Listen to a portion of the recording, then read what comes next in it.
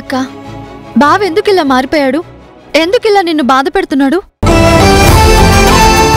నీకొకటి తెలుసా యష్? నేను చిత్ర మీ ఇద్దరి గురించి మీ బంధం గురించి ఎంతలా మాట్లాడుకుంటామో ఎంతలా ఆరాధిస్తామో? మా ఇద్దరి దృష్టిలో మీరు సీతారాములు. రాముడు సీతమ్మని బాధ పెట్టడం ఏంట్రా అక్క నిన్ను చూస్తే చాలా గర్వంగా ఉందక్క. ఎందుకు తెలుసా? ఎదుటి వ్యక్తి ఎలాంటి పరిస్థితుల్లో ఉన్నా అర్థం చేసుకోగల గొప్ప మనసునిది. ఎంత బాధనైనా భరించే ఓపిక సహనం ఆ దేవుడు నీకిచ్చాడు. కానీ అతి మంచితనం ఎప్పటికైనా ముప్పేనక్క. అది మాత్రం గుర్తుంచుకో. అయినా అసలు నీకేమైంది యష్? ఎందుకిలా సడన్గా మారిపోయావు? ఎందుకిలా విచిత్రంగా బిహేవ్ చేస్తున్నావు? ఎందుకు వేదావతిని హర్ట్ చేస్తున్నావు? బావ నిన్నిలా పనిగట్టుకుని హర్ట్ చేస్తుంటే ఎందుకు ఓర్చుకుంటున్నావక్క? ఎందుకు నిలదీయలేకపోతున్నావు?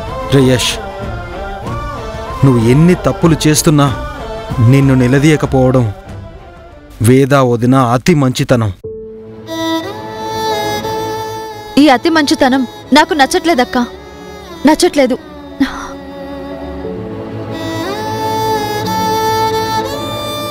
నువ్వు చేస్తున్న తప్పులు చూస్తుంటే నాకే మనసు ఒప్పట్లేదురా.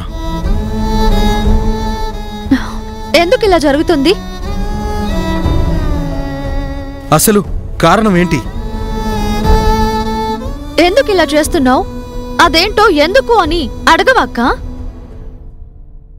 అదేంటో ఎందుకు చెప్పవు యష్? ఎందుకంటే? ఎందుకంటే నా నోరు నేనే నొక్కేసుకున్నాను వసంత్. నోరు విప్పమని ఆయన్ని నిలదీయడానికి నేనెవరిని చిత్ర? ఎందుకంటే నువ్వు యశోదర్ భార్యవి. నీకు హక్కుందక్కా? ఎందుకంటే వేద వదినకి భర్తవి. తనకి చెప్పాల్సిన బాధ్యత నీకుంది.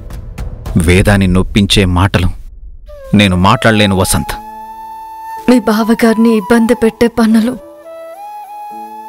నేను చేయలేను చిత్ర. ఇదిగో ఇదిగో ఇదే అక్క. ఇదే నాకు నీలో నచ్చంది. ఇదే ఇదే యష్.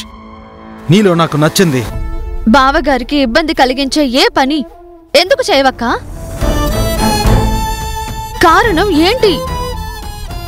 కనీసం ఇదైనా చెప్పవాక్క? కనీసం ఇదైనా చెప్పవా యష్? కారణం ఏంటి? ఏ కారణం ఒక్కటేరా.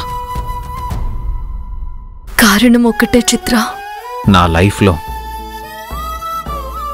నాకంటూ ఉన్న ఒకే ఒక్క బలం.